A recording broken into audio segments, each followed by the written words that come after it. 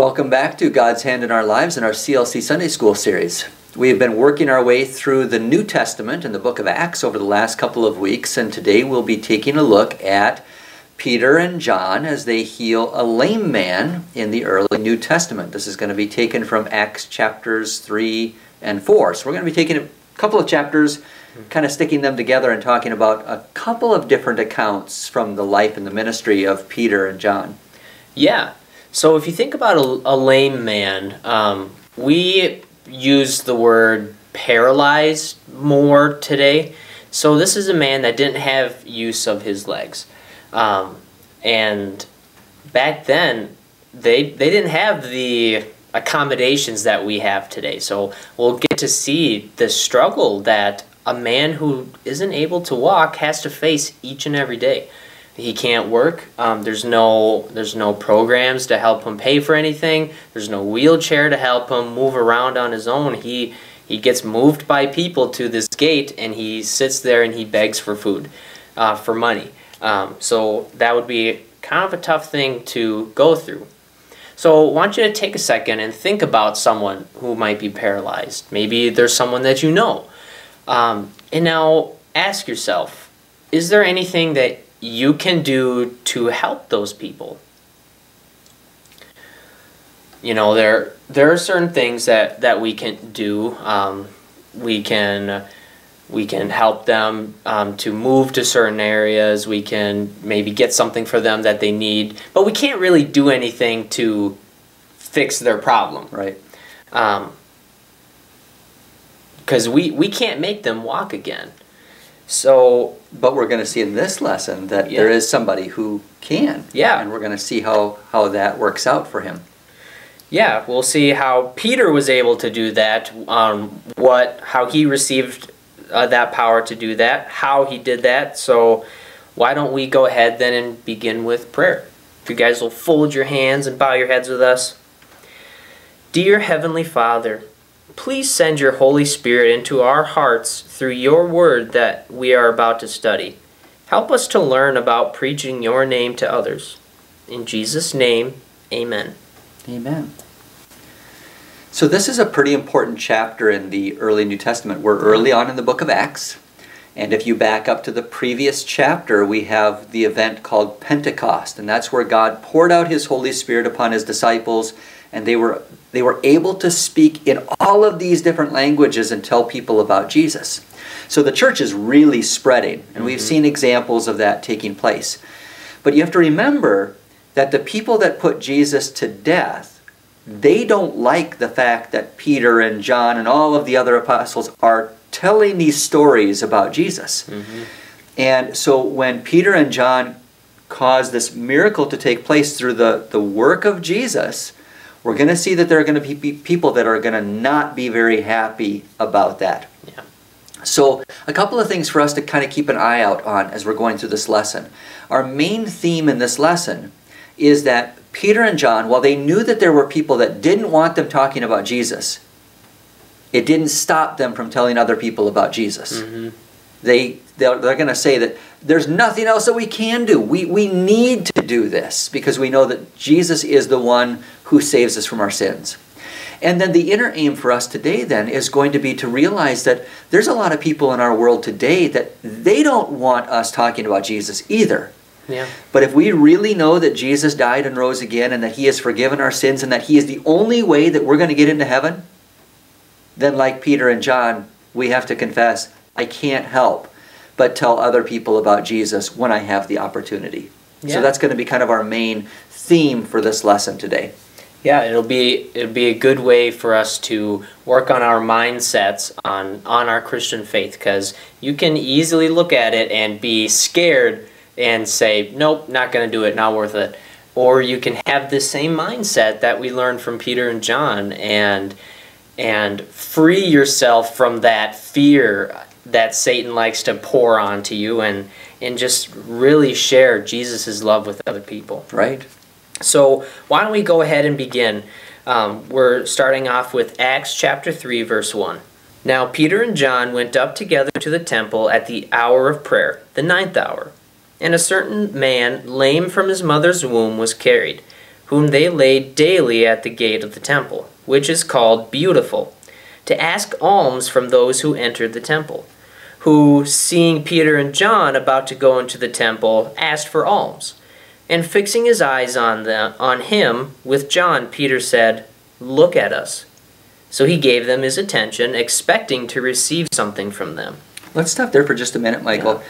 So, a couple of things that you guys might not be familiar with. There's a couple of words in there Mhm. that you maybe have never heard before. Do you know what an alm is? What is an alm, Michael? An alm, if I'm right, would be just some type of money, asking for money or different things that could help them out, such as food or maybe even clothing, just anything that they can give to that man as they're walking by. Right. So in in that so you maybe have been driving down down the road maybe you're in a big city or something like that and you see somebody who's got a sign he's got a cardboard sign and he says i'm homeless and and he's got a little bucket or something maybe he goes through the traffic and he's collecting a little bit of money. So that would be sort of similar to what this alm is. It was actually something that was done by the church so was, that's why he was there by the church. And and the church would take care of these these people and it was it was kind of a like their offering but but they would give an offering to the church and they would also give an offering to the poor so he's asking for some financial assistance because he's not able to work because of his handicap Right. and and so an alm is just giving some sort of financial assistance to somebody who isn't able to do things like we can today so you think about for example michael said we don't have back then they didn't have the same capabilities that we have Mhm. today he couldn't ride, ride around on a wheelchair. They didn't have something like that. And and so the church and other people in the community they would help out in order to take care of this person to provide for him in addition to to his family. Now if he didn't have family it would fall more upon the community to help take Mhm. care of him. So it wasn't a requirement but he's asking for help. And in this case he's going to get a different kind of help than what Yeah. he was expecting. And yeah, we'll, we'll, see his reaction to once he receives that. Then Peter said, Silver and gold I do not have, but what I do have I give you. In the name of Jesus Christ of Nazareth, rise up and walk. And he took him by the right hand and lifted him up, and immediately his feet and ankle bones received strength. So he, leaping up, stood and walked and entered the temple with them, walking and leaping and praising God. And all the people saw him walking and praising God. Then they knew that it was he who sat begging alms at the beautiful gate of the temple. And they were filled with wonder and amazement at what had happened to him. that's a pretty neat thing Yeah, yeah, ta- talking about how difficult that would have been. And, you know, it says that this is a man who is lame or paralyzed from birth. So he's had to deal with this Right, his for a long entire life. He has absolutely no idea what it's like for for someone to be able to use their legs. You know, there's a couple of amazing things to me, Michael, in this Mhm. account because you're right. It, it tells us that he was like this from birth. Mm-hmm. When, when somebody who has, you think about little children. You know, little children, it takes them a while to learn how to walk. You know, you see, you think about a little baby, and they just start to get the strength in their legs, and it's going to take them. Well, it depends. Everybody's different, but it might take them weeks in order to finally figure out the balance and Mhm. how to move the foot and all of that. And the same thing is true with an adult who's gone through, for example, a car accident Yeah. and they've been unable to walk for a long period of time. And they have to go through physical therapy in order to little by little train their body how to do that. This man had never walked before. Yeah. But notice what he's doing walking, leaping, Leaping. and praising God. So this is an amazing thing. This isn't a natural thing. Yeah. This is something that was supernatural, beyond nature. God not only gives him the strength to be able to do it, but teaches his body immediately Mhm. exactly what he needs to know in order to know not just how to walk, but how to leap and jump and all of that just simply because of the name of Jesus. Yeah, and and most importantly, causing him to praise God as well. Right. I think there's a beautiful picture in this story. We talked about how this man has been lame since birth. Um, and when he was healed, he was healed immediately and perfectly, fully. And the only person that can do that is Christ Jesus. Yeah. And so, this imagery we have, we can compare it to us. What are we from birth? Sinful. Yeah, we Lame. are full of sin. We are we are not righteous. We are we are handicapped, and in the worst way possible. Right. And when we accept Jesus into our lives, when Jesus works faith into our hearts, then we have this boom, instant healing. Now it's not something that we can see, but with our with our eyes physically like this man, we could see him walking and leaping, but what Jesus has done in our hearts is a full 100% Right. healing of our hearts and washing away of all of our sins and giving us righteousness. He doesn't ever do anything halfway. No. And so when Jesus decides to heal you, you're getting healed. Um, and perfectly as well. So it's just wonderful imagery we can compare to us as well. And then to see, as you pointed out, Michael, the man's response. Yeah. He's not he's not like, well, thank you, see you later. But rather he's he is traveling along with Peter and John and he's Mhm. praising God. He knows where this blessing has come from, Yeah. which is going to be really important when we get into the next chapter because there are going to be some people who are not going to know that. These people that are traveling by, and this is in the temple, it's at the hour of prayer. There's a lot of people that are coming into the temple. Mhm. This is causing a huge scene. Yep. And we're talking about thousands of people gathering up after this great festival of Pentecost. And they know this guy. They've seen this guy at the gate year after year after year after year after year. They probably know him by name. hmm And they know he shouldn't be walking. and so this is going to be an opportunity then for Peter and John to bring the gospel out, to point people to Jesus. Now, they could take the credit. They could say, yeah, look what I did. But they're not going to do that. They're going to use that as an opportunity to point people to Jesus. Yeah. Talk about perfect timing, by the way. God always gives perfect timing. Right. Pentecost, amazing timing for Peter and John to be able to witness to a whole multitude of people. Right. Um, We're going to see the same thing here. yeah, yeah. Yeah. Now, the, in the next section, we there, this is a long two chapters, chapters 3 and Mhm. four. And so what we're going to do is we're going to take this next section and we're going to kind of condense it. We're go, it's a paraphrase. You'll see that in your study. And a paraphrase just means that we're summarizing the events of their. We're taking it from Scripture, but we're going to, we're going to leave some things out in order to be able to get through everything in the next section. So you'll notice in your study at the top of the second column it says paraphrase. Uh, we're just kind of briefly going to go over some of the main details that take place in the next section. So I'll pick it up there. As the lame man who was healed held on to Peter and John, all the people ran together to them, greatly amazed. When Peter saw it, he responded to the people Men of Israel, why do you marvel at this? Or why do you look so intently at us, as though by our own power or godliness we made this man to walk? Jesus, whom you delivered up and killed, and whom God raised from the dead, we are witnesses of him. His name, and through faith in his name, he has made this man strong, whom you see and know. Yes, the faith which comes through him, that is through Jesus, has given him this perfect soundness in the presence of you all. Repent and be converted. Think of the writings of Moses, Samuel, and the other prophets, which tell of a prophet who is Jesus. Anyone who does not listen to these words that Jesus is the only way of salvation will go to hell at the end of the world. Now that's a pretty That's- rough message. Yeah, that's that's strong for sure, um, but it it's needed. Um, so this is very shortly after Jesus was crucified, and there could have been people here that were the ones crying out, "Crucify him! Crucify him!"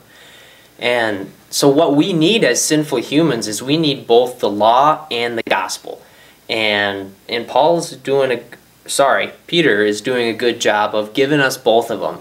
We need that law to cut to our hearts. It shows us that we made a mistake. It showed them they made a mistake with wanting Jesus to be killed, not believing and trusting in him as God.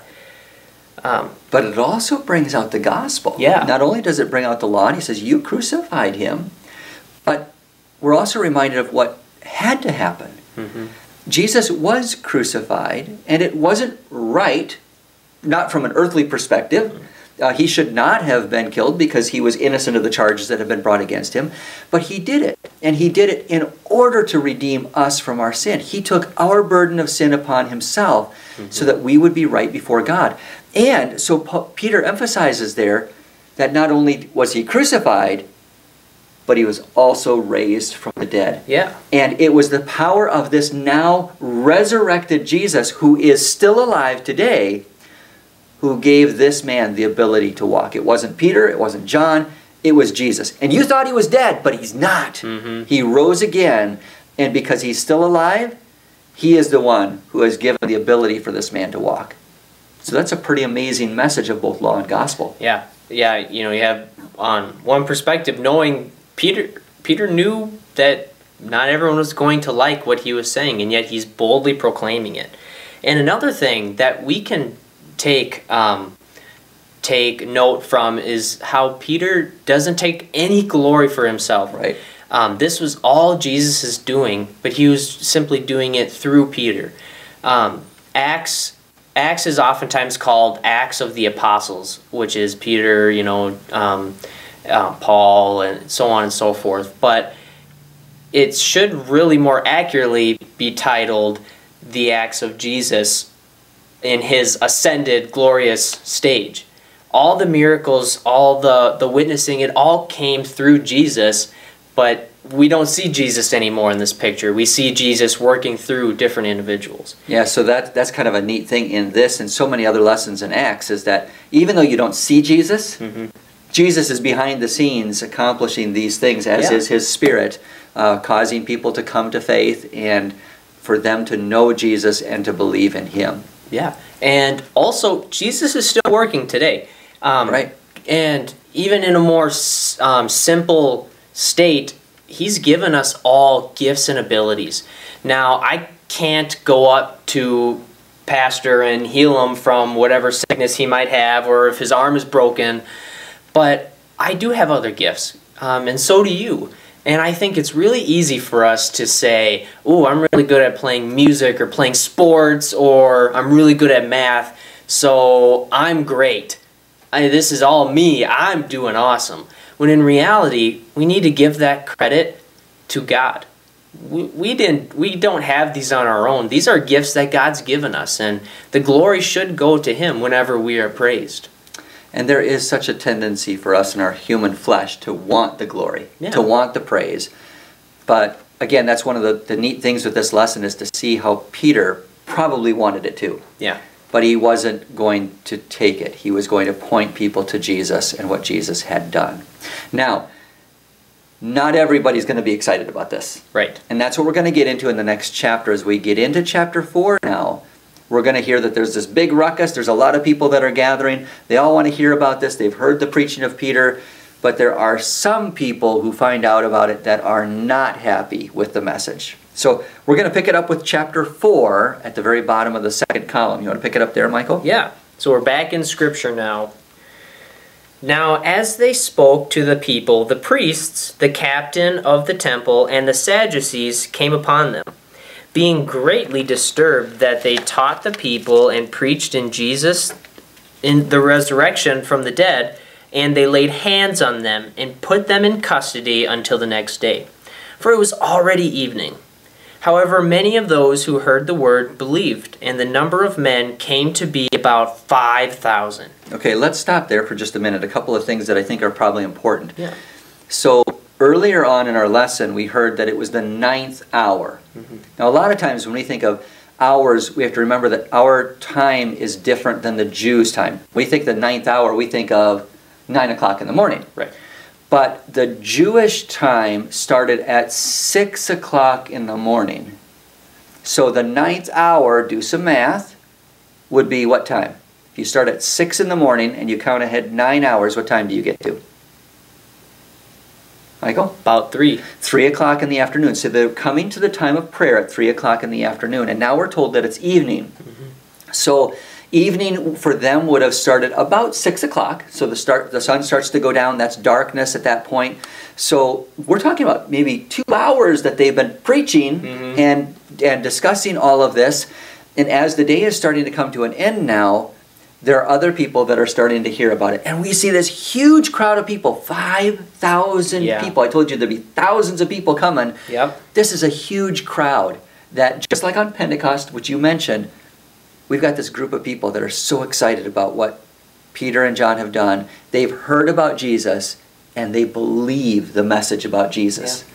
So that's a pretty powerful thing. Yeah, what yeah, that that's an amazing thing to to comprehend. That such great faith that they had. Um, they they didn't have access to all the New Testament like we do. They didn't have all this information compiled. They just they saw the work of Jesus and they believed. It's it's faith in the rawest form and purest form. It's just um, it's it's just nice to to have stories like that, and that's that's what we want to continue to happen today. All right, why don't you pick it up with verse 5? I stopped you. Yes. Um, and it came to pass on the next day that the rulers, elders, and scribes, as well as Annas the high priest, Caiaphas, John, and Alexander, and as many as were of the family of the high priest, were gathered together at Jerusalem.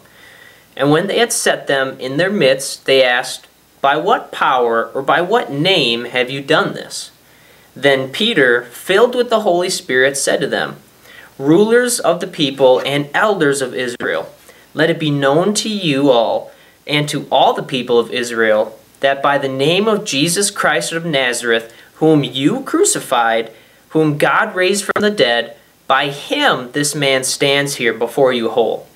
This is the stone which was rejected by you builders, which has become the chief cornerstone.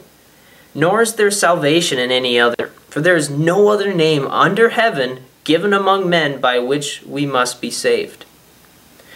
So there's some cool things. So they being talked to right now by all these high priests and um, all these upper people in the Jewish faith.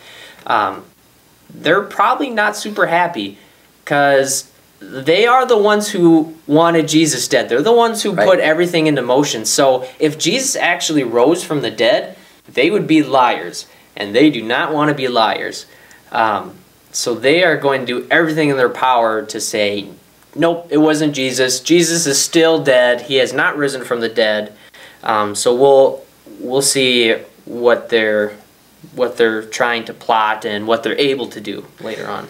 So notice that what happened here is after that first evening when they were arrested, they were mm-hmm. said that they were taken into custody. They were thrown into prison overnight.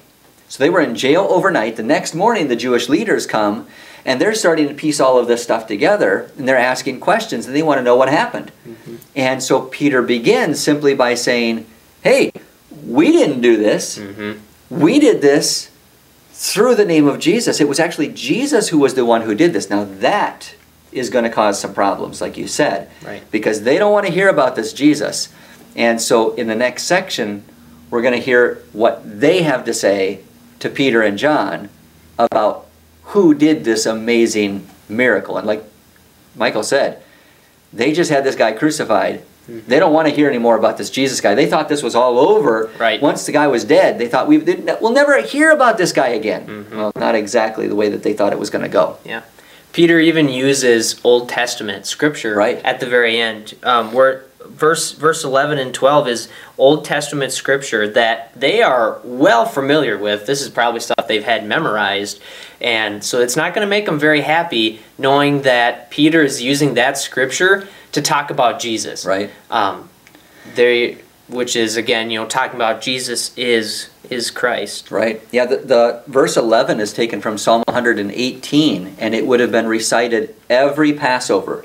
So it was part of their Passover celebration in their homes every year. So you're right. They would have known this passage very, very well, but Peter puts it back on them and he says, Jesus was the chief cornerstone, the stone which you, you builders, you're the ones that are referred to in that verse, Mhm. you rejected him. So here we, we're right back to the law and the gospel again. Right, yeah. There's the law saying you shouldn't have done that. But we're also going to hear Peter bring in the gospel. He says there is only salvation in the name of Jesus. Apart from Jesus, there's no hope for salvation. But with Jesus, Mhm. we have hope. And there's the gospel. Right, and we'll, we'll see their how their stubbornness prevents them from really hearing what he's saying. Right. So we're going to pick it up with verse 13. I'll read the next section. Now, when they saw the boldness of Peter and John and perceived that they were uneducated and untrained men, they marveled. And they realized that they had been with Jesus. And seeing the man who had been healed standing with them, they could say nothing against it. But when they had commanded them to go outside, out of the council, they conferred among themselves, saying, What shall we do to these men? For indeed, that a notable miracle has been done through them is evident to all who dwell in Jerusalem. We cannot deny it. But, so that it spreads no further among the people, let us severely threaten them, that from now on they speak to no man in this name. And they called them in and commanded them not to speak at all, nor to teach in the name of Jesus. But Peter and John answered and said to them, Whether it is right in the sight of God to listen to you more than to God, you judge. For we cannot but speak the things which we have seen and heard. Now, Michael, earlier we heard the word boldness, Right. and we're going to see that. That takes a lot of guts Mm-hmm. for Peter to say that to the religious leaders, the guys that had just thrown him into jail. And there's not just a couple. There's a whole bunch of religious leaders here. This there's a lot of lot of pressure on them. What what could is there a way that we can um, connect that to today? Like what type of people would we be before having them tell us to stop? Well, you might think of police officers or mayors or governors or maybe Mhm. even the president. These are the, the most powerful people in our country or in our community. And imagine if, if not only those people who have power, but also the ones who enforce that power, like Mhm. police officers, are the ones who are standing there and saying, We don't want you talking about this Jesus anymore. You have to stop. And that's, that is a good lesson for us to think about. What would we say? Imagine a police officer came up to you and, and said, You can't go to church anymore. You can't talk about this Jesus anymore. And if you do, we're going to throw you in jail. Or worse. Or worse. That's, a, that's an important question for us to think about. How would we confront that situation? And Peter's point here is we realize that there's two authorities there's a human authority that comes from mm-hmm. our government and police officers, and there's God's authority. And all of those human authorities ultimately come from God. But Peter says, yes, we should obey those human authorities, but God is the greater authority. And if these two things contradict each other, then we ought to obey God rather than men. Yeah. So when they had further threatened them, they let them go, finding no way of punishing them because of the people, since they all glorified God for what they had done. For the man was over forty years old, on whom this miracle of healing had been performed. And being let go, they went to their own companions and reported all that the chief priests and elders had said to them. So when they heard that, they raised their voice to God with one accord. And when they had prayed, the place where they were assembled together was shaken, and they were all filled with the Holy Spirit. And they spoke the word of God with boldness. Now the multitude of those who believed were of one heart and one soul. Neither did anyone say that any of the things he possessed was his own, but they had all things in common. So it's kind of a neat conclusion to this story. This is one of those stories that has a happy ending. Yeah. Uh, they don't all end up like this, but in this case, the religious leaders knew that there was nothing they could do to Peter and John because they couldn't say that a miracle hadn't been done. They knew that all the people knew it. This guy had been 40 years old, sitting by the temple. Well, maybe not sitting by the temple for that long, but they had, he had been around for a long time and everybody knew who he was, and now he's walking. So that brought some reality to what the apostles Peter and John were saying, and they simply couldn't punish them. If they would have punished Peter and John, they would have had a riot on their hands from Mhm. the people. So in this case, Peter and John were let go, but they were again set, they were told, hey, don't talk about him anymore. They tried to Yep. threaten him. Again, there was nothing that they could do. But this is again an important thing for us to, to think about. That might not always work out that way with us, Michael. No. We might not always have the confidence that they can't do what they're threatening. Yeah. But we have to trust in God. And that's what Peter and John did. That ultimately, even if they can do what they're threatening against us, and we're going to see other examples in the book of Acts where they do follow up and do what they've threatened to do, Yeah. and still, no matter what, with boldness, we need to point people to Jesus and proclaim what he has done for us because there is the only place where we find salvation. It is Right. only in the name of Jesus. Yeah, it's that one thing that we just cannot afford to sacrifice. Anything of this world, we don't need. Um, but our faith in Jesus, we do because eternity is a lot longer than our life here on That's earth. right. So even we should follow these apostles' example. They were faithful unto death. Jesus was faithful unto death. So ultimately, we are following Jesus' example. Um, and you know, we're not saying that you're going to end up in a situation that puts you in that, but we always want to be ready um, to to share our love no matter what, because there are always going to be people who say, "Don't talk about that," or Right. "I don't want to hear that right now," or "I'm going to bully you because you were talking about Jesus."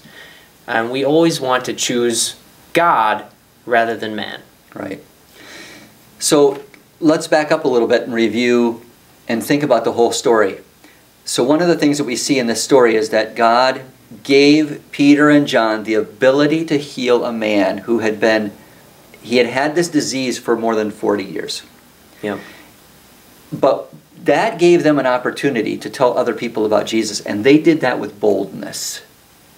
And when we think about the application of this lesson to ourselves, we're reminded that we too may face persecution. Michael, you and I can't heal people like you said earlier. Right. But we do have a message that the world doesn't like. And we know that the world doesn't like it. And at times, we're nervous and we don't want to speak about Jesus because we're afraid of what the world is going to think. And that's why this lesson is such an important lesson. Because we need to look at Peter and John and see how they didn't care what people threatened them with or what could have happened. They said, This is too important. And if people don't know about this Jesus, they're going to go to hell. Yeah. That's the bottom line.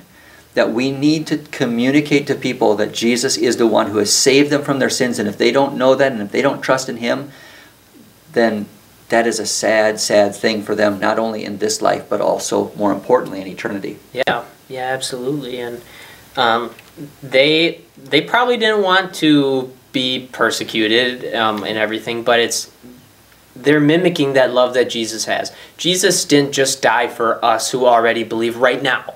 Jesus died for literally every single Right. person that has ever lived and that will live to come. Right. And so even if like we talk about in other lessons, even if we're if it's someone we don't feel comfortable with, um, or someone we think is different than us, or just anything, um, we still want to talk about that, even if they're mean to us, because Jesus died for them too, and it's important for them to know it as well. Right. So you've got three activities in this lesson. The first one is basically matching. You have two columns, and you're going to take the one that fills the blank properly. So that'll be a, a good way of, of answering the question and reviewing the lesson. And then the second one is, is taking other parts of God's Word. One of them is actually in this lesson, but then applying it to our lesson. What, what does God tell us about evangelism? What does He tell us about boldness? What kind of an opportunity and witness can we be to the world around us? And there's some good application questions in there for us to really think about what does this lesson mean for us in, in our lives today? And then the last one is a, a crossword puzzle. You guys like doing these or a word search, uh, going through there and finding the words that are listed on the right. See how well you can do of finding those words that apply to our story.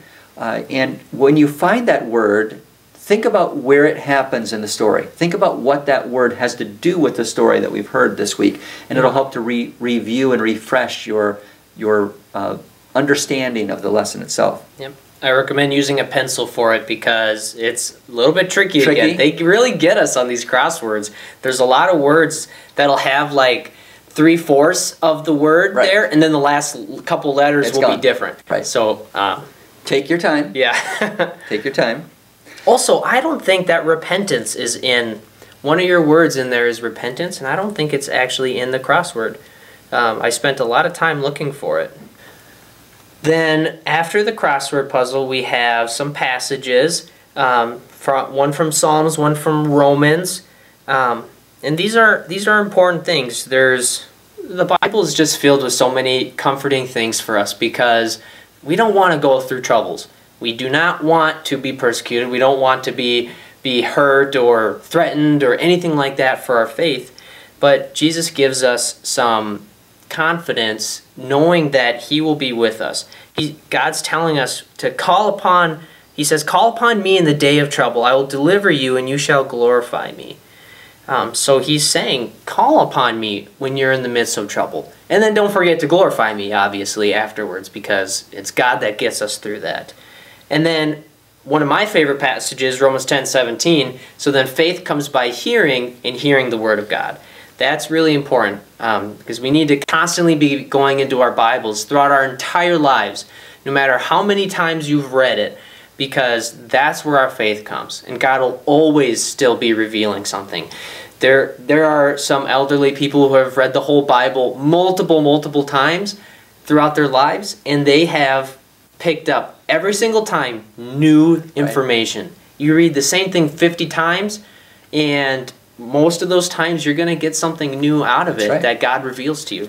God continues to speak to us every time we open up His Word. He's, Yep. he's got something to say to us. It doesn't get old, it is new. Every day, the Lord reminds us and assures us of His promises there. And there are things that we need to be reminded of, things that we need to be encouraged in. All of those things, God is continually talking to us. So we, we certainly want God to be talking to us throughout our lives. We don't want to neglect and say, Oh, I don't want to hear what you have to say to me today. Mhm. A Yeah. blessing. Yeah. And then at the very end, you guys have a hymn which ends up being our prayer. It's a beautiful prayer reminding us of the joy of the lame man. We were told earlier on when he was healed, he didn't just walk and leap, Mhm. but he praised God. And so we'll use one of these verses as our closing prayer for today. Oh, for a thousand tongues to sing my great Redeemer's praise, the glories of my God and King, the triumphs of his grace. Glory to God and praise and love be ever, ever given by saints below and saints above, the church in earth and heaven. Amen. Amen. Well, thank you guys for being with us today. Please go through this assignment, answer those questions. Uh, They're really important for us to grow in our knowledge and therefore faith and memorize those passages because now we know faith comes by hearing and hearing the word of God. That's right. Um, so we look forward to being with you guys again. We'll, We'll continue on through our study of the book of Acts. We'll see you next time. Yeah. Take care.